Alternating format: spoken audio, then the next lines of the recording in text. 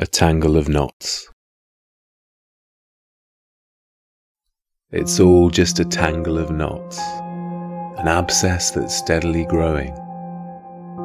There are too many crossed wires to make sense of, too much infection to treat, yet some are in dogged defense of, a game whose players are encouraged to cheat.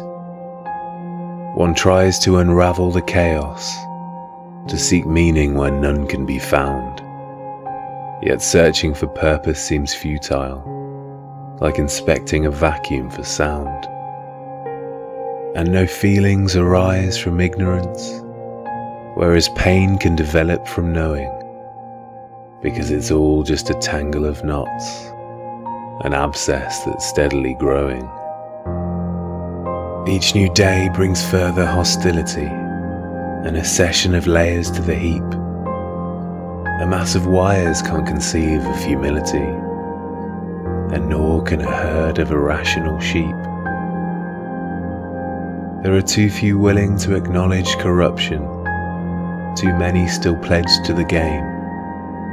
The only answer is a full scale disruption for players to finally assign blame. Yet complaining of injustice does nothing in terms of helping the cause, as mere words will not dissuade the monster while your head remains trapped in its jaws. Although it's all just a tangle of knots, an abscess that's steadily growing, one should never stand idly by while the fires of evil are glowing. We must behave more like compassionate humans and less like unfeeling robots. Empathy is all we're equipped with to lance the abscess and untangle the knots.